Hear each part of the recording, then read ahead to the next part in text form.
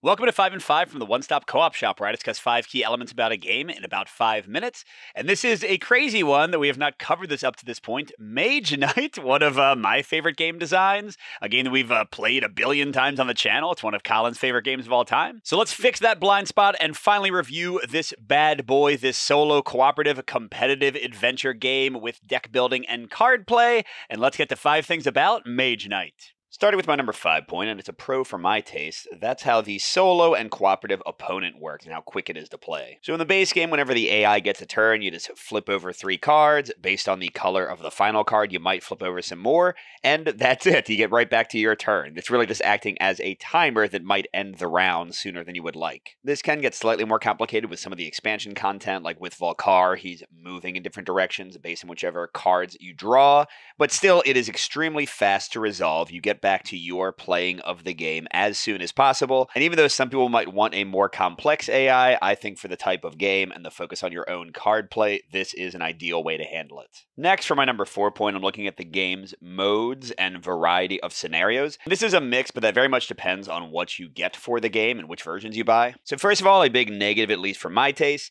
is the cooperative and competitive play. Your turn can take so long, there can be so much analysis paralysis as you try to figure out all the crazy combos of your cards. We'll get to that later in the review. That playing the game with more players can be an exercise in complete drudgery and slow play and frustration, unless you're all experts and can really play through quickly. And then also, if you just have the base game, almost every scenario is a competitive scenario. So you're pretty much stuck just playing the basic move out and kill city scenario, which is, don't get me wrong, very replayable because other things are varied, but doesn't have much variety in the rules. But this mix might become a full pro if you get the Ultimate Edition, if you have the Lost Legion expansion to use Volkare, if you have the Shades of Tezla, which added tons of scenarios, especially for solo co op. My number three point is back to a full pro for my taste, but with some caveats, and that's the exploration and movement in the game. But some caveats first. It can be annoying to remember what all of the sites do. You have these uh, reference cards, and they're double sided, so figuring out, oh, wait, where's the card that has this kind of terrain on it? it can be frustrating if you haven't played in a while or are learning the game for the first time and don't know what they all do. And also, not every adventure gamer is going to love how challenging it can be to just like move around and get stuff done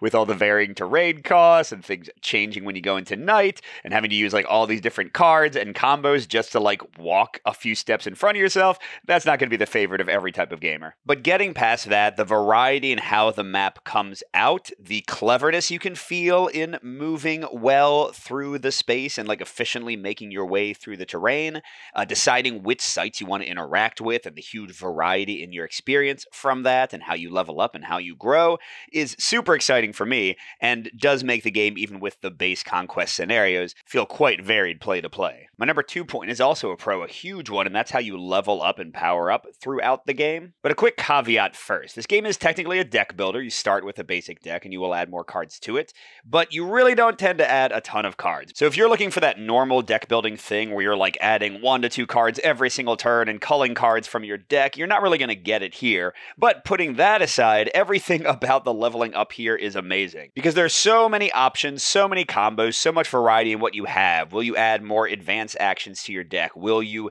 dig deeply into spells? Will you get artifacts by burning down monasteries? And add in the skill tokens, which are highly varied between characters, and you get very different mixes of them from drawing them each game. And which units are you going to hire to back you up, and how will you change them out, and how long will you keep them before upgrading them? All of which ties deeply into the reputation track, and whether you keep it high by helping out the people, but maybe not leveling up in the way you want, or whether you go full on villain, burn down every monastery, and artifact it up.